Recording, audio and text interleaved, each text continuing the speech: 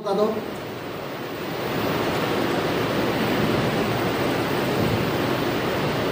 Size grow हो रहा है? छोटे से बड़ा आ गया।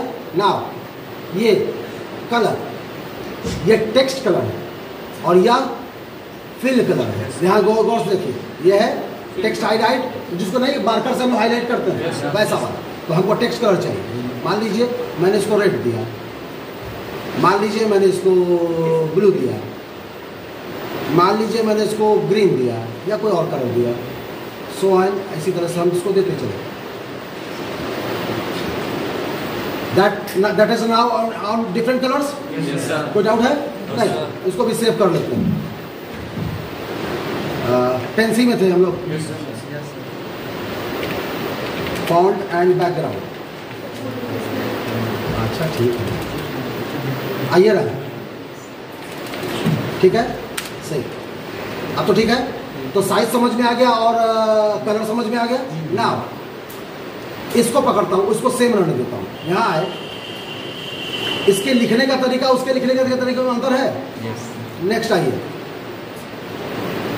अब अब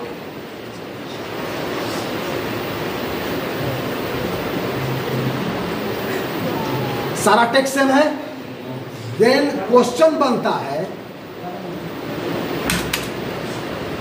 what a what do you mean लिखते चलिए what do you mean by font what do you mean by font मैं इसका बदल देता हूँ ताकि आपको लिखने में दिक्कत ना आए। What do you mean by font